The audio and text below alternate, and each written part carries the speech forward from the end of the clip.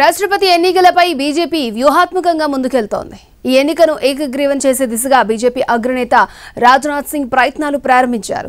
Congress senior నేత Mallikarjuna Kharge SP chief Akhilesh Yadav Odisha CM Naveen Patnaik Bihar CM Nitish కుమార్తో మాట్లాడారు. ఏకగ్రీవానికి మద్దతు తెలపాలని విజ్ఞప్తి చేశారు. మరోవైపు రాష్ట్రపతి ఎన్నికల్లో విపక్షాలు ఉమ్మడి అభ్యర్థిని ప్రకటించాలన్న మమత లక్ష్యం నెరవేరేలా కనిపించడం లేదు. దేశ రాజకీయాల్లో రాష్ట్రపతి ఎన్నికల వ్యవహారం రోజురోజుకు రసవత్తరంగా మారుతోంది. ఓవైపు మమతా బెనర్జీ విపక్షాల ఐక్యతకు ప్రయత్నాలు చేస్తుంటే అధికార బీజేపీ ఎన్నికలను ఏకగ్రీవం చేసేందుకు పావులు కదుపుతోంది. రాష్ట్రపతి ఎన్నికల విషయంలో ఏకాభిప్రాయం తీసుకొచ్చే బాధ్యతను రక్షణ మంత్రి రాజ్నాథ్ సింగ్కు బీజేపీ అప్పగించింది. రంగంలోకి దిగిన రాజ్నాథ్ కాంగ్రెస్ పార్టీ సీనియర్ నేత రాజ్యసభలో విపక్ష నేత మల్లికార్జున ఖర్గేతో మాట్లాడారు. ప్రభుత్వ ప్రతిపాదనలు ఏంటన్న విషయాన్ని తాను అడిగినట్లు ఖర్గే చెప్పారు. వివాదాలు లేని అభ్యర్థి పేరును విపక్షాలు ప్రతిపాదిస్తే అందుకు ప్రభుత్వం మద్దతిస్తుందా అని ప్రశ్నించారు.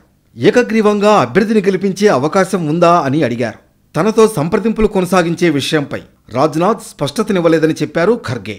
మరోవైపు బీజేపీని రాజకీయంగా దెబ్బకొట్టడానికి రాష్ట్రపతి ఎన్నికలు గొప్ప అవకాశంగా భావిస్తున్నారు బెంగాల్ సీఎం మమతా బెనర్జీ.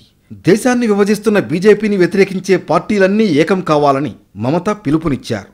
మొత్తం ఇరవై రెండు రాజకీయ పార్టీలకు లేఖలు రాసిన మమత రాష్ట్రపతి ఎన్నికలో తనదైన రాజకీయ వ్యూహం అమలు చేసేందుకు సిద్ధమయ్యారు. అయితే సమావేశానికి ఇరవై రెండు పార్టీలను ఆహ్వానించిన పద్నాలుగు పార్టీల నేతలే హాజరయ్యారు. ఇప్పటికే రాష్ట్రపతి ఎన్నికకు సంబంధించి గెజిట్ నోటిఫికేషన్ విడుదలైంది. ఈ నెల ఇరవై తొమ్మిదవ తేదీ వరకు నామినేషన్లను స్వీకరించనున్నారు. జూన్ ముప్పైన నామినేషన్లను పరిశీలించనున్నారు. జూలై రెండు నామినేషన్ల ఉపసంహరణకు చివరి తేదీ.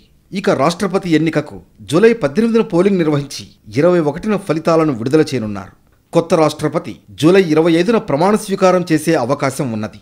ప్రస్తుత రాష్ట్రపతి రామ్నాథ్ కోవింద్ పదవీకాలం జూలై ఇరవై నాలుగున ముగియనుంది.